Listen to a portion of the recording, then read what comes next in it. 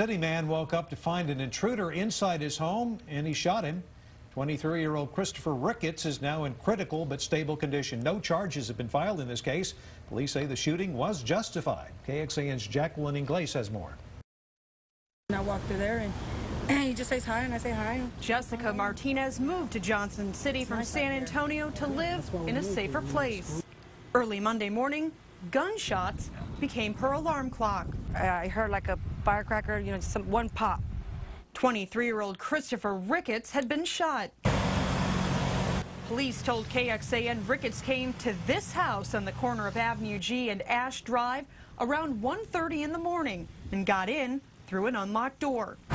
Ricketts didn't drive up to this house, nor did he walk. Police say he actually rode up here on a bike. When the homeowner woke and found Ricketts, he grabbed a 9mm he's licensed to carry and shot Ricketts in the chest. All I saw was when they went around the corner is they were trying to, I guess, revive the guy. Ricketts was flown to the hospital and is now in stable but critical condition at UMC Brackenridge. A motive in the case is not clear, but police did find a backpack that had a screwdriver and sock inside. Which is indicative of a burglary tool. Officers are calling the shooting justified.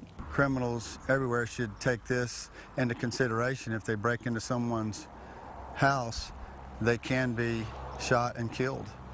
And is it worth it? Henry Martinez agrees that his neighbor should have defended his home. He just wishes he hadn't used a gun. My son sleeps right there next to a window, and had he been shooting in this direction, I was afraid for a stray bullet. Police are waiting to question Ricketts. They say he has no criminal record or history of mental illness. Meanwhile, no charges have been filed in the case, and Holland tells KXAN it's unlikely the homeowner will face charges. In Johnson City, Jacqueline Inglés, KXAN News.